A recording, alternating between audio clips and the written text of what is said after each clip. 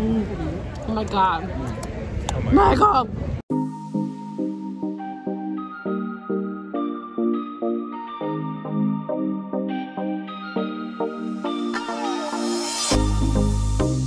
So, this is going to be the informal guide to my impromptu weekend trip to Seattle. The first day, we headed out to Pike's Market at like 7 in the morning to shoot photos and sample different foods.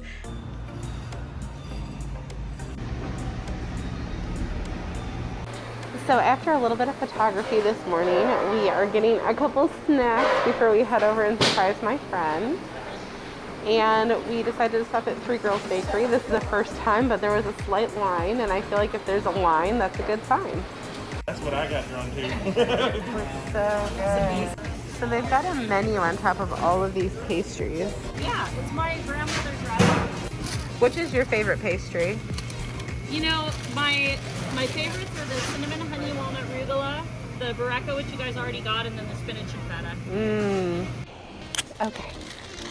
It's time to eat and try some delicious things. Jeff, what are you trying first? it's called the mashed potato something. Mashed potato and cheddar roll. Oh my god, like looks like potatoes in there. Mmm. It literally tastes like mashed potatoes. So why can't you have cookies for breakfast? The guy online said that you had to get a crinkle cookie, right?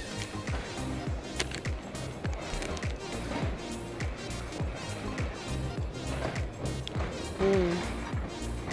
They're so soft. Yeah,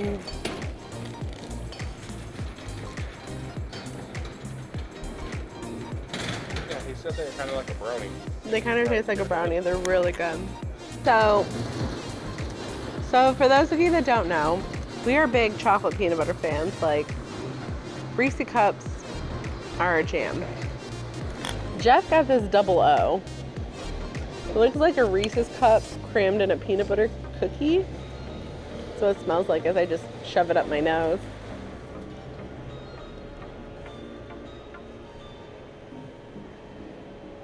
Try to take another bite because once it comes here, you're not getting it back. What was that? said once you hand it over, it's not coming back to you. So take another bite if you want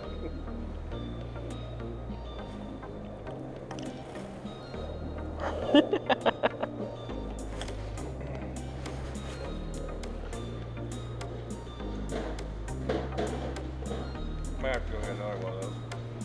That was my favorite thing. When we did our first sleep, this line was only partially out to the side here. It's maybe been, what, 30 minutes?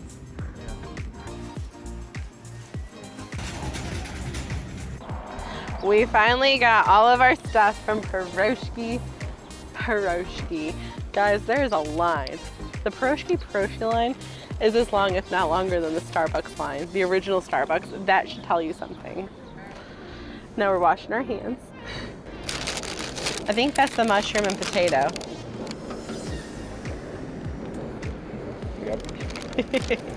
Let me get in on that. For the record, Jeff didn't want this one. It's so soft. Look at that. It's so good.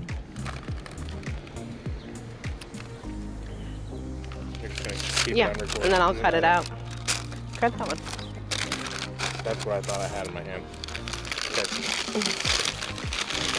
This, I think, is the beef and onion. Next up is beef and onion. This is an original.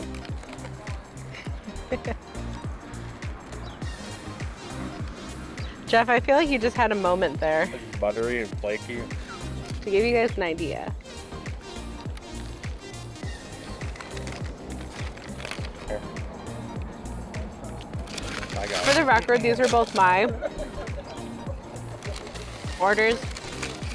And then I was told that we were supposed to get this salmon pad thai thing. Go for it, Jeffrey. And I'm not the biggest salmon fan, but like I was told that you just you have to have this. It's delicious. Mmm. It just makes you think of After this, we grabbed some flowers and headed out to surprise my friend and spend the morning with her. After this, we also headed up to the Space Needle to get you guys some more tips. All right, so some of the must things that you have to do in Seattle obviously include the Space Needle. We're to show you a little bit more clips of that here in a bit. But if you are looking to actually come and do the Space Needle, do the Glass Museum, I highly encourage that you use the City Pass. All of these places right here are included. To give you an idea, the Space Needle can be up to about $38 for a ticket. The Glass Museum runs at $34. So at $109 for the City Pass, you're getting a really good bang for your buck, plus access to a bunch of other attractions. And if you're a Grey's Anatomy fan and you happen to stop by the Space Needle, KOMO Plaza over here might look a little bit familiar. That's where they film a few scenes there, as well as the helipad up top is where almost all the helipad scenes are shot for Grey's Anatomy. Remember, Seattle has a variety of things to do besides the city pass. There's whale watching, kayaking, hiking. These are just a few things, and you can frolic. I mean, why not? After this, we headed back down to the harbor area to get some seafood.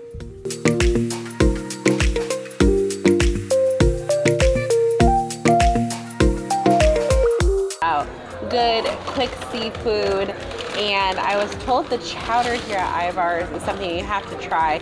And we did also get the fish to try too and sample. So here's some of the, did you get the Cajun? This is the Cajun, I didn't do it, Alaskan cod.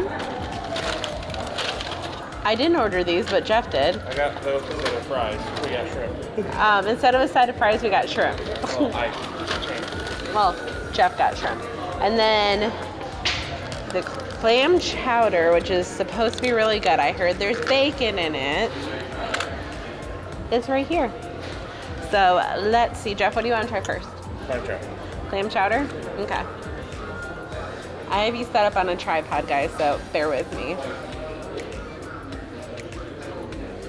It's so weird eating soup when it's warm out, but whatever. Clam chowder. Smells delicious. You guys, Oh. this is so good. Mm. This is really good. Jeff, what do you think of the chowder? Jeff thinks it's good. He doesn't want to be on camera though. Since that's the case, I'm going to ankle you guys this way. You can see my crazy hair. I'm opening a tartar sauce that partially exploded on the fish. and we're going to give some of this fish a try.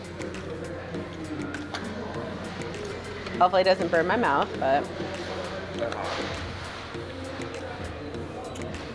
Mm.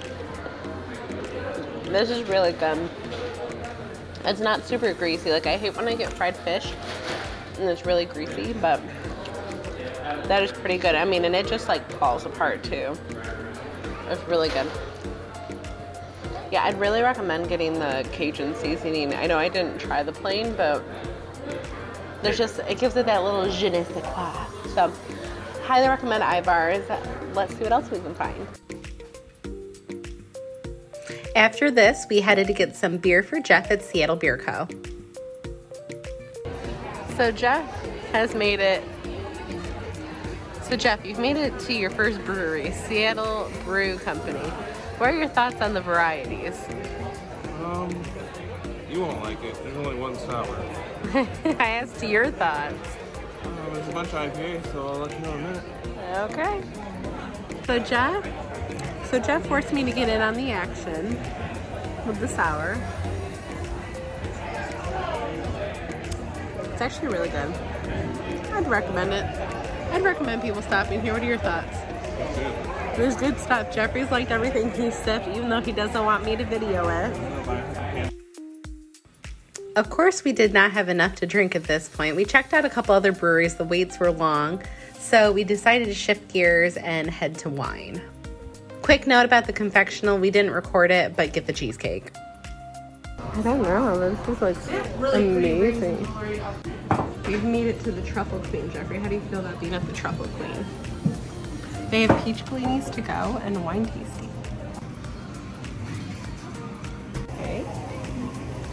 This is that nice filler. So Jeff's already decided to take the Lambrusco home.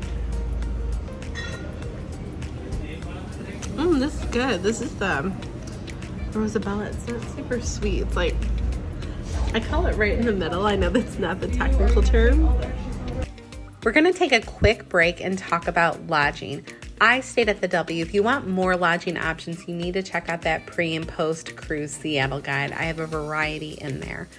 I enjoyed the W because it was a great location. It wasn't smack dab on top of tourist locations like Pike Place Market, but it was close enough to walk. The beds at the W were so comfortable. This was a King Mountain view. We loved it. After we hung out for a bit, we headed back to the market. We stopped at Beecher's the next day. The next day, we headed back to the market. We were meeting a friend to hit some other must do's that we were told about, like Beecher's. Beecher's has some great cheese curds. They make their cheese right on site. They make great grilled cheese, great mac and cheese. And this is me sipping on some Rachel's ginger beer because we needed a table since Beecher's didn't have any. But I will recommend that guava ginger beer drink from Rachel's till I die. It's really amazing. I mean, look at the pull on this grilled cheese. That's how you know it's a good one. Mm. So this is Michael. He's got all the tea and he said we have to come here, right? Absolutely. Best seafood. Forty-four dollars for everything. Perfect. You can get little shooters. I mean, mm. All right, so what are we shooting first here? Let's shoot the oysters. That If you guys could there. only see what this is on. This is on a pole that's like a six inch diameter. Hopefully we don't lose it. Yeah, we don't even need the fork this. Yeah, this we just take like a shot. I'm going to because that will end up in my boobs. Here, Jeffrey, come on in. Michael, come on in. Cheers, Cheers. T&W oysters. Mm. Oh my god. Oh my Michael! So good. Oh my god. And then next, Right there, yeah. So good. Welcome. And they have crab ones too. And they have shrimp cocktail. and a giant shrimp cocktail. Jeffrey, can you open that? Open what? The The bag? bag. Yep. All right, next. Now. Famous Seattle Dungeness crab cocktail. Famous Seattle Dungeness crab cocktail. Gonna squeeze a little lemon on that. Okay. Let's see here. Jeffrey, get on over here. Michael, you guys show them your reaction. So good. Mm. Mm. We have a friend, a very dear friend. They'll probably watch this YouTube video. They wouldn't appreciate this. And it's very sad. He misses out on life a lot. We all have our cross to bear though. so, Michael said a lot of people tend to go to the place that throw the fish in here. I forget what it's called. But he said that the seafood is way better at this stand. And there's no line. There was like no line. Because everybody wants to go see the flying fish. Shrimp cocktail to go. Look at the size of these shrimp. All fresh from P&W, baby. That's a good amount of cocktail sauce. Did not skim. Okay. Get on over, boys. Sorry. Ah, let's get it. My God. They're so like big and juicy. The way we like them. Girthy. Gotta have them big and gotta have them juicy. After this, we went on a walk to Fran's at the Four Seasons. You guys, if you love chocolate, you need to treat yourself here at Fran's. The chocolate here is amazing. After we finished up at Fran's, we headed over to Von's 1000 Spirits for some cocktails and snacks. Look at this death shot. We're going to be talking about this death shot in just a moment, but do you see the smoke coming out of it? They're all individually bottled. We are preparing for the death shot. Except she's. I don't know about this. We're low key afraid. I'm gonna take a little. Hold on. That's not the death shot, that's water.